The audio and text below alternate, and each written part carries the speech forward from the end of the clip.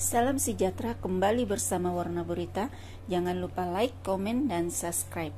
Hari-hari orang tanya sampai saya sendiri tak tahu nak jawab macam mana sebenarnya.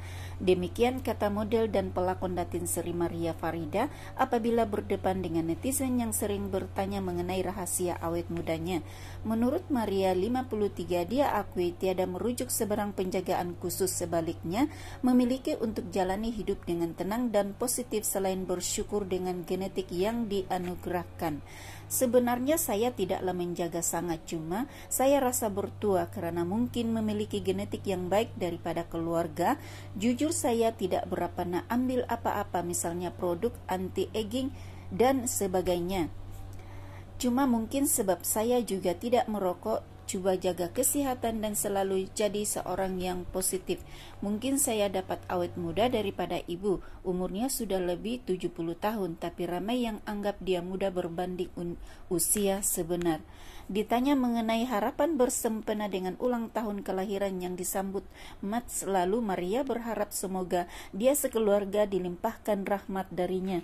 Saya hanya mendoakan diri saya sentia, sihat sentiasa, tiada apa-apa penyakit kronik. Saya harap ahli keluarga saya juga terhindar dari sebarang musibah termasuk COVID-19 dan semoga semuanya menjadi lebih baik insya Allah katanya. Menyambut kedatangan satu syawal di ibu kota Maria seperti biasa meraihkan lebaran dengan apa adanya, mengenangkan situasi semasa ketika itu.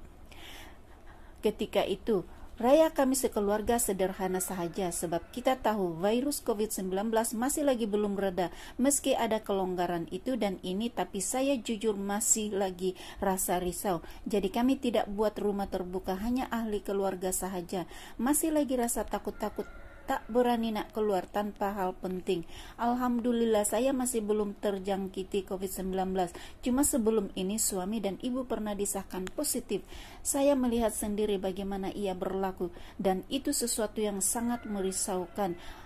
Alhamdulillah mereka kini sudah pun sembuh daripada virus berkenaan katanya lagi. Terima kasih karena sudah menonton Warna Berita dan ikuti berita selanjutnya.